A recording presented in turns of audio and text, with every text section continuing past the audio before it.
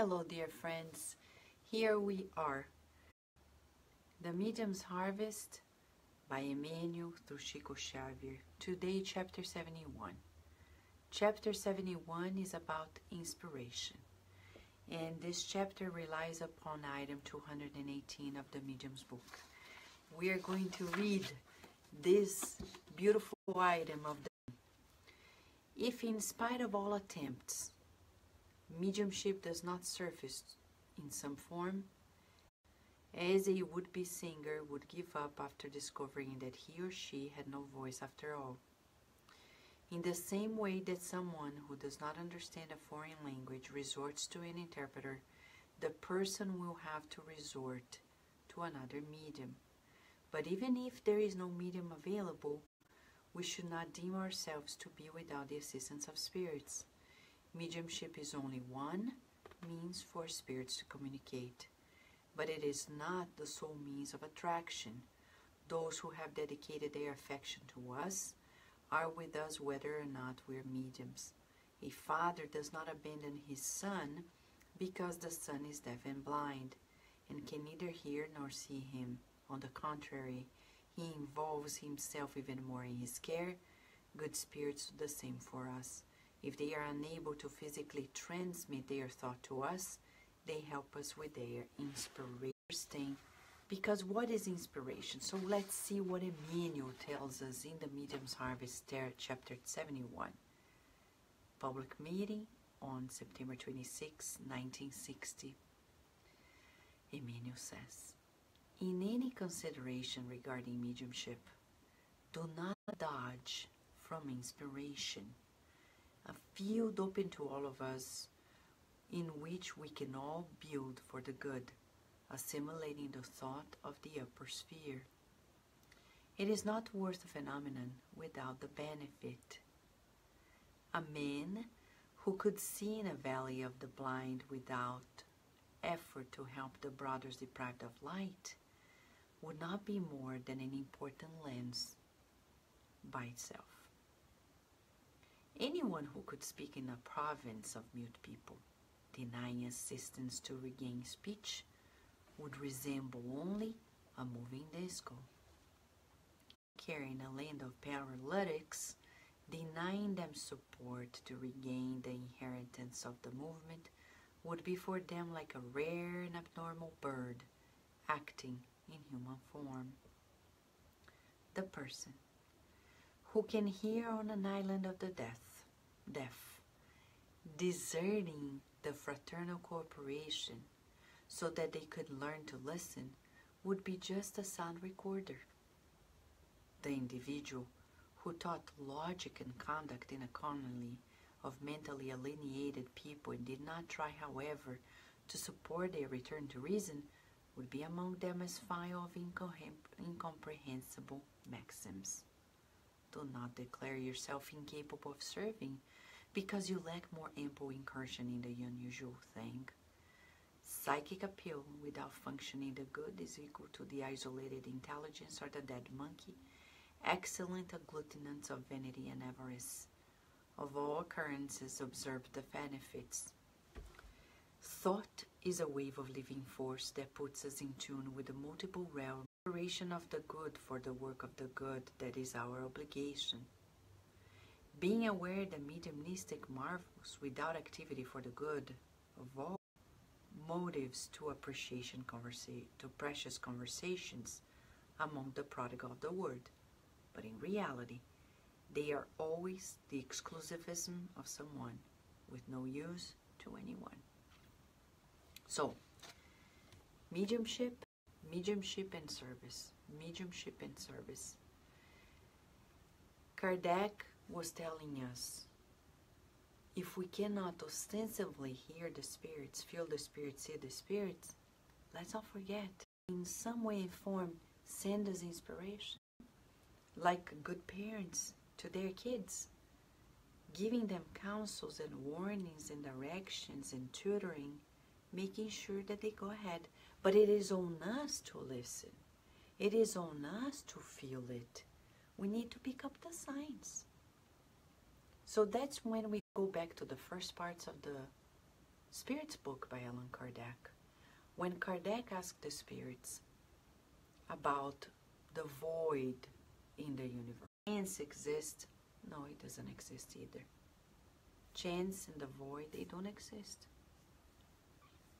It means that we need to understand where we are in the field of life and move forward, picking up the signs. For example, if you are driving and the car in front of you has a bumper sticker saying, Love is in the air, and you have an issue inside of you regarding somebody, whether or not you should invest on that relationship or not. I'm not saying romantic relationship. Then that bumper sticker is the inspiration for us. And then you're surfing your internet, let's say browsing Facebook. And then there is a post that talks about forgiveness.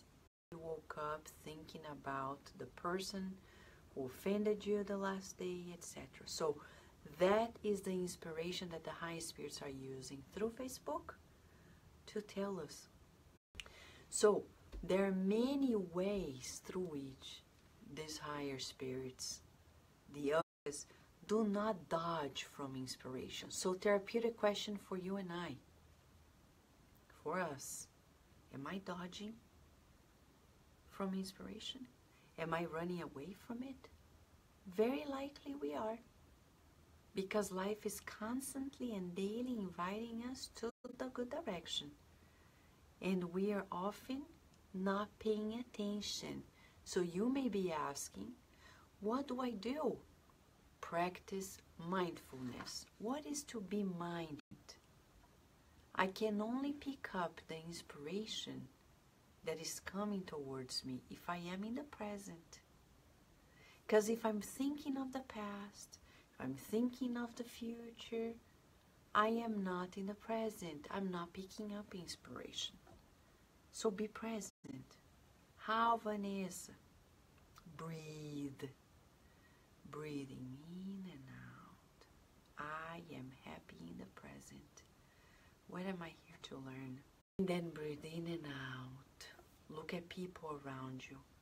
How can I learn to be more virtuous with them? Usually we're so egotistic and proud of ourselves that we tend to look at people in our lives as if we know more and they know less. Everybody has the same mindset.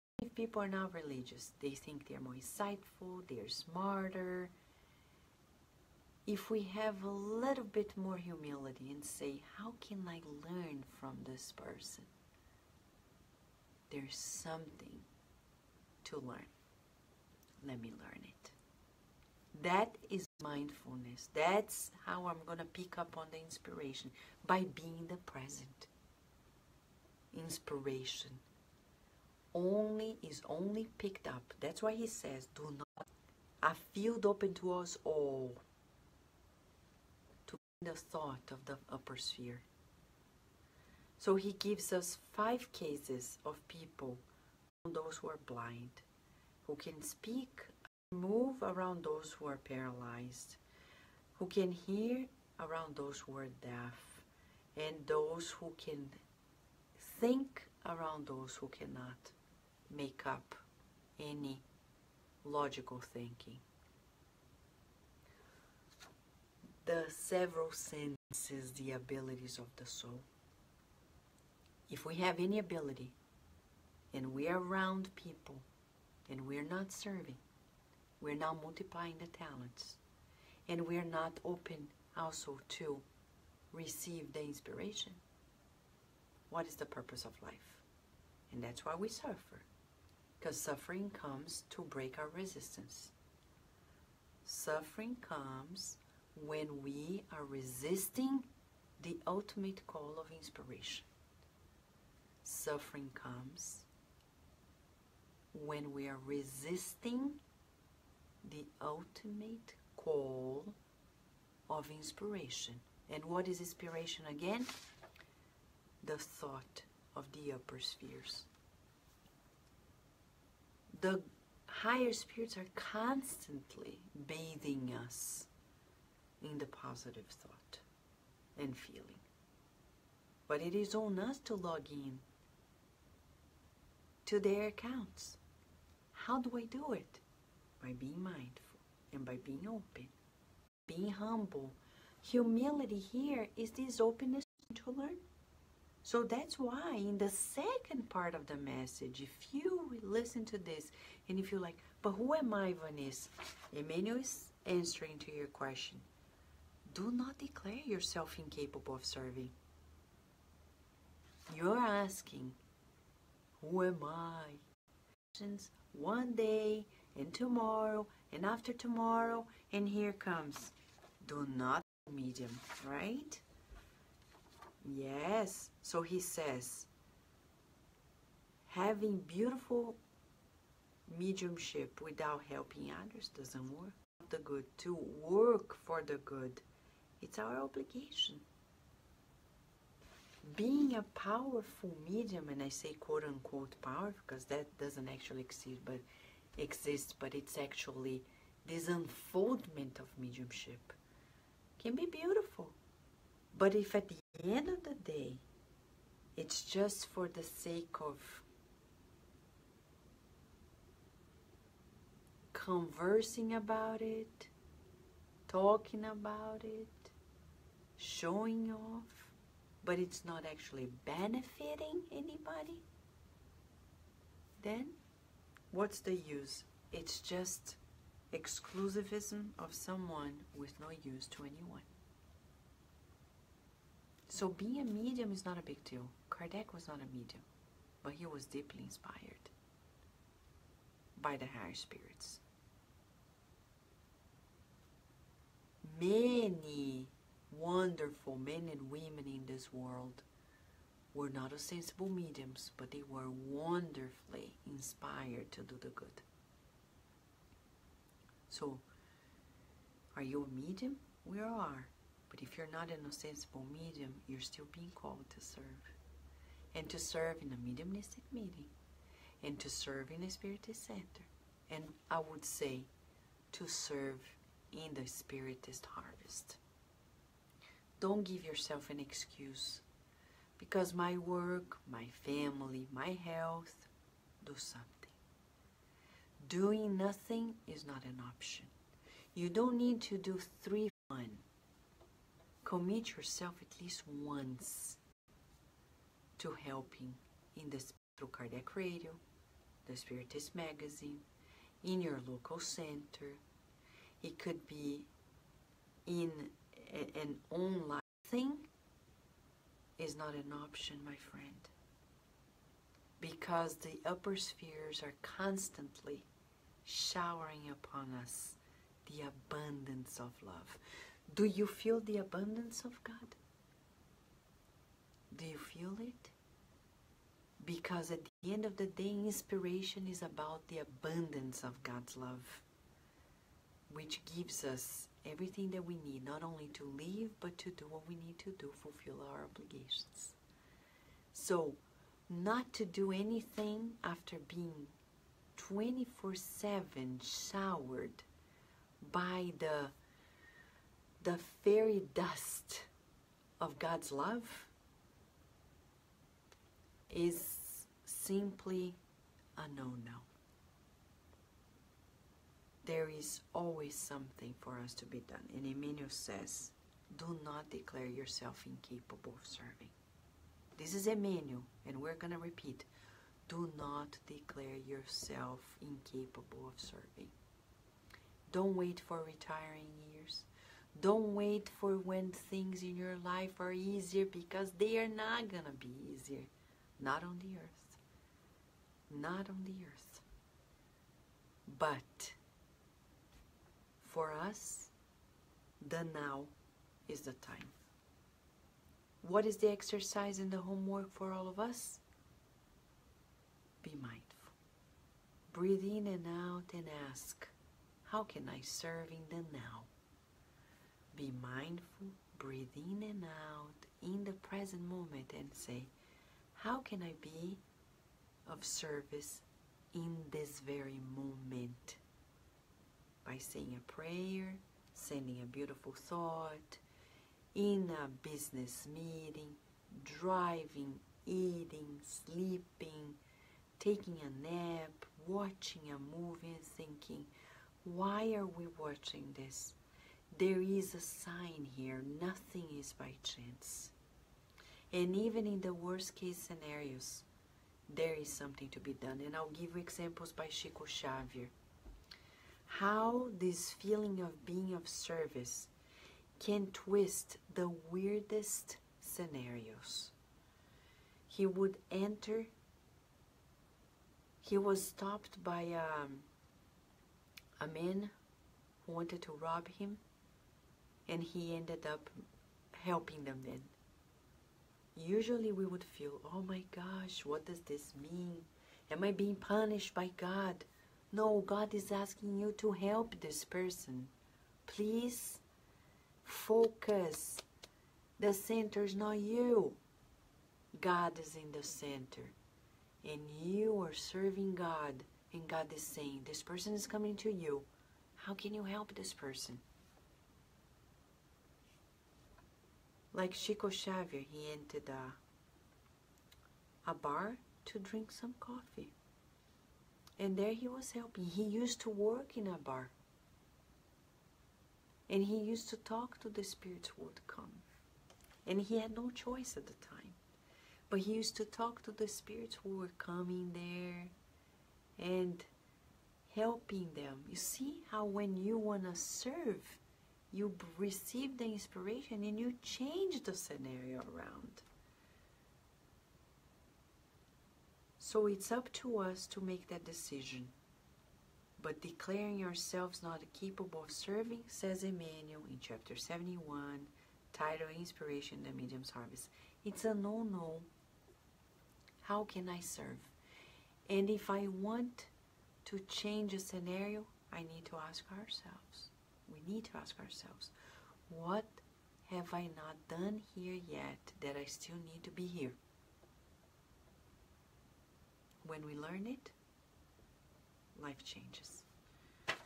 It changes so much that look at us here, huh? Who could tell, right, Celio?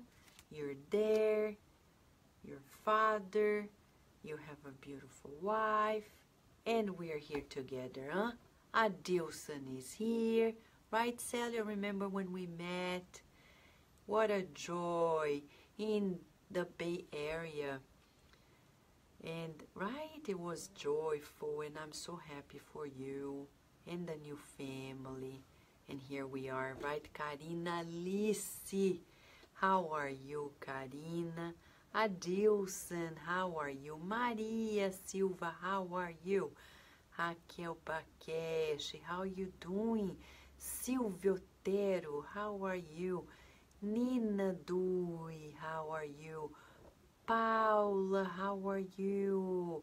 Lívia Moraes, thank you for being with us. Rihanna, Lea Severo, how are you? And I know we missed some people because the internet was on and off, on and off, on and off, but keeping the inspiration, we are here. And this is how it goes. I never stop talking but the internet was on and off. This is us. The spirits keep telling us stuff, and our internet fails us, our inner internet. Huh? So we better strengthen this inner signal. How? Goodwill. Goodwill. That's what it is, right, Adriana Sanchez Monteiro? Thank you for being with us. Yes, Sylvia, I'm feeling blessed too. Tomorrow, when we come back Right, Rita Di Cassia?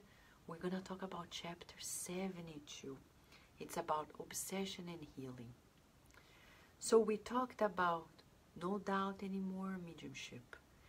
Opening ourselves to this inspiration that is constant, right, Gustavo and Rudy?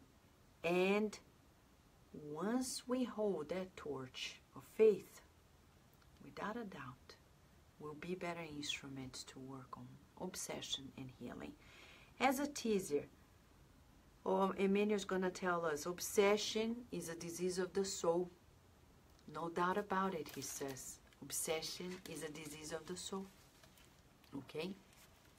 And he says, if you conduct the issue of obsession with clarity to understand its necessities, you should be aware that the renewal of the spiritual, the inferior spiritual company depends on your own renewal. Mamma mia. Come back tomorrow, friends, because we're talking about deep healing, the healing of the soul. And there is nothing better than that. Who wants to be healed? So say the affirmation I'm ready to be healed, ready to be healed, ready, ready, ready, ready to be healed tomorrow, right, Elizabeth?